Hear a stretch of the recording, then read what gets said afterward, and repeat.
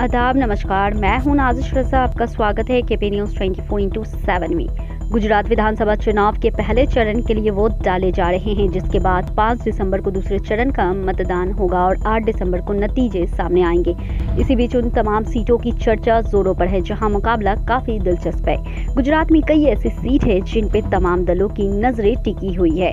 ऐसी ही एक सीट गोधरा भी है, जो फ़िलहाल बीजेपी के पास है। यहाँ इस बार असदुद्दीन ओवैसी की एमआईएम ने भी अपना उम्मीदवार उतारा है, जिसे लेकर उन्होंने एक टीवी चैनल पे बात की थी।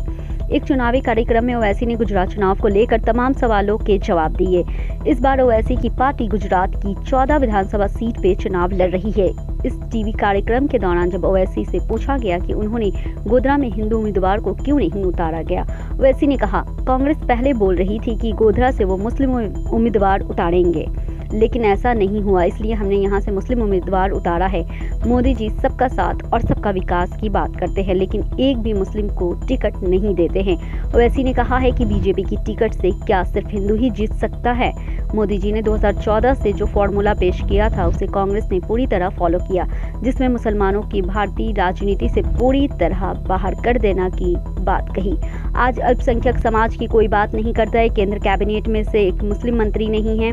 ओवैसी ने कहा है कि गुजरात में मुस्लिमों को विकास नहीं हुआ है। गुजरात दंगों का ज़िक्र करते हुए ओवैसी ने कहा कि बिल्किस बानो ने सब कुछ झोंका और उसके दोषियों को छोड़ दिया गया। बिल्किस बानो के दोषियों को जिसने संस्कारी कहा, उसे बीजेपी ने गोधरा से टिकट दे दिया। जो शख्स कई मुस्लिम की हत्या का दोषी है, वो बल पे निकलकर मोदी के नाम पर वोट मांग रहा है। आज के लिए इतना ही। मुझे दीजिए इजाज़त, फिर मिलेंगे नई खबरों के साथ।